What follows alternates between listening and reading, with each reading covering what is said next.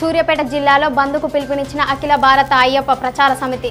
శబరిమల అయ్యప్ప స్వామి ఆలయ ప్రవేశానికి మహిళలను అనుమతిస్తూ సుప్రీంకోర్టు తీర్పు ఇచ్చిన నేపథ్యంలో అఖిల భారత అయ్యప్ప ప్రచార సమితి పిలుపు మేరకు సూర్యాపేట జిల్లా కోదాడ అయ్యప్ప స్వాములు పట్టణంలో నిరసన కార్యక్రమం చేపట్టారు.